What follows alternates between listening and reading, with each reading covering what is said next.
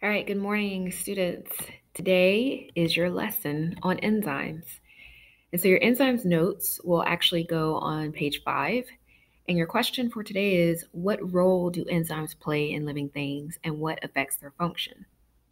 Now, while you're writing this down, remember that I said that enzymes are proteins and they have very special jobs. Some um, are required for your antibodies, some are in your hemoglobin, and in others um, help to digest your food. But we're going to learn about the different roles that enzymes play and how they do their job. First, let's go over our GMAS question for today. The GMAS question number seven asks Which of the following roles does an enzyme play when the body processes sucrose, table sugar, into glucose and fructose? Remember, these are uh, this is a disaccharide, and then these are monosaccharides. All right. So is it A, an enzyme decreases the body's need for sucrose? Is it B, an enzyme increases the amount of sucrose available? Is it C, the enzyme increases the rate at which the sucrose breaks down? Or is it D, an enzyme decreases the amount of fructose and glucose product available? And your answer for this question will be C, an enzyme increases the rate at which the sucrose breaks down. So, all living things um, are going to be made up of chemical compounds, some simple and then some complex. But chemistry isn't just what life is made of, chemistry is also what life does. So, everything that happens in an organism, its growth, its interaction with the environment, its reproduction, and its movement, is based on chemical reactions. And so, enzymes play a very large role in increasing those chemical reactions, those metabolic processes that happen inside of the organism. So, a chemical reaction is a process that changes or transforms one set of chemicals into another. If you remember this from physical science or a little bit of chemistry from middle school, remember that in any equation, in a, in chemical reaction equation, um, your elements or compounds that enter the chemical reaction are known as your reactants. So those are going to be on the left hand side. The elements or the compounds produced by a chemical reaction are going to be your products. So those are going to be on the right hand side of your chemical equation. And then in the middle, you'll see an arrow, which means to yield or to get that particular product. Well, what enzymes will do is they will help to speed up those products to get those products. But the enzymes are not a part of the chemical reactions themselves. Let me repeat that the enzymes are not actually a part of the chemical reactions, just like a key is not technically the part of the door lock. It's only there to help speed up the process of you getting inside of a room or just to speed up the process of opening the door. But the key is not a permanent uh, element of that door. Okay? So, enzymes are a protein catalyst that controls the rate of the chemical reaction. A catalyst is just a chemical that helps to speed up a chemical reaction. So it's a substance that speeds up the rate of a chemical reaction. Now, how does it do that? In all um, in all chemical reactions, there's going to have to be what's called an activation energy. An activation energy is nothing more than the reaction or the amount of energy that it's uh, that is required to start a chemical reaction. So make sure that you underline, even though it's not highlighted, activation energy. Now, it just like it takes an incredible amount of energy or gas to start a car, you need a threshold of energy in order to start a chemical reaction. Well, enzymes are catalysts and they help to speed up the rate by lowering the amount of energy that is needed to actually get the chemical reaction started. So, catalysts or enzymes are catalysts that lower the amount of activation energy that is needed to speed up the chemical reaction. Now, I think last week I talked about um, when you are faced with any chemicals uh, names that anything that ends in ose is a sugar. Well, anything that ends in ace is considered an enzyme. So, lipase is an enzyme that reacts with lipids to break them down. Just like lactase is an enzyme that reacts with lactose to help break that down. So you guys can actually look these up on your own and add them to your notes. What does sucrose react with? And then identify the function of each enzyme, oxidase or hydrolase.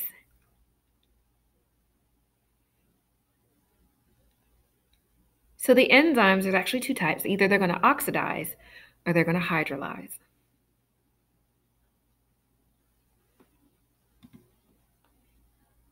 Now, what are the different substances? The substance acted upon an enzyme is called the substrate. The enzyme itself is actually going to be the larger molecule. And the place where the substrate and the enzyme actually come together is called your active site. So let's say this is lactase. Lactase is going, uh, lactose, I'm sorry. Lactose is going to be your substrate, and lactase is going to be your enzyme to act on it. Where these two meet together is your active site, and the enzyme lactase is then going to produce either smaller substances or different products. So it helped to speed up this chemical reaction, and you have to know these parts.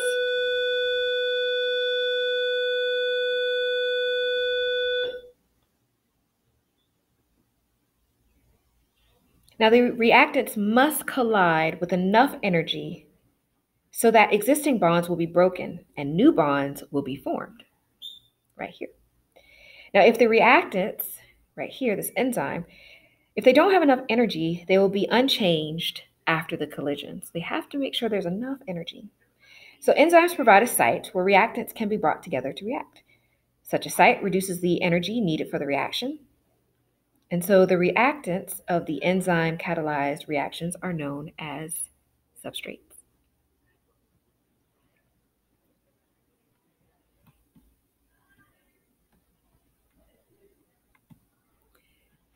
So you want to look at an enzyme as like a lock to a key.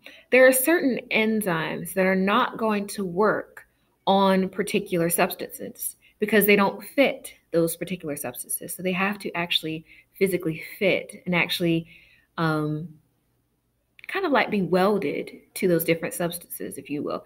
Because um, keys have to have a certain shape in order to fit in certain um, doorknobs. So the same thing with enzymes, they have a lock and key type of relationship. So enzymes bind the substrate at the active site. And then you have your enzyme substrate complex. So your substrate reacts to form your products.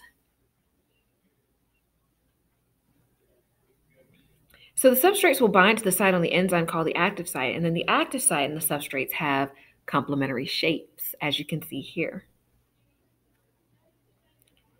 And so the fit is so precise that the active site and the substrates are often compared to a lock and a key.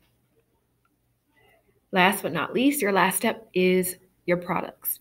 So, this is what's happening whenever you're eating your food. And remember, I told you that digestion starts in your mouth, okay, before you even start to chew. That is when the chemical reactions are starting. So, you have an enzyme called amylase that is actually in your mouth that's actually breaking down starches, complex starches. Now, they don't do this for every single starch. They only do this for certain starches. So amylase will only work with uh, those complex carbs and starches in your mouth. And then it will work to break them down into their simplest form so that you can digest them. All right, now what happens when, you know, an enzyme cannot work anymore?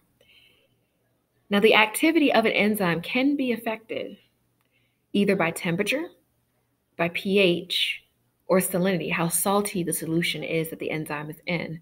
So if a temperature is too high for a certain enzyme, they will become denatured or they'll change their shape and they won't work. And remember that I told you that the pH has to be closer to 7 within most organisms or closer to their overall pH in their body in order for certain enzymes to work. If the pH is too high or low, you will denature or change the shape of that enzyme. You will warp the shape of that enzyme, and therefore it won't fit its substrates any longer. So once an enzyme is denatured, it loses its catalytic activity. Ms. Taylor, please report to the front office. Ms. Taylor, to the front office.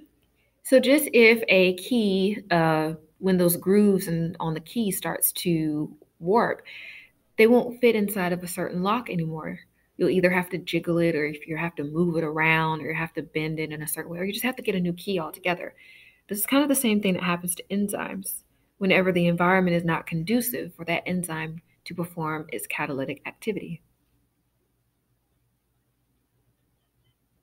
So, most enzymes uh, produced by human cells generally work best or close to 37 degrees Celsius, which is the normal temperature of the human body. They typically uh, work best in certain pH values. So, you have some enzymes in the human body that will only participate or start working in their activities around six or eight with pH of eight, but most of them uh, like a pH of around seven.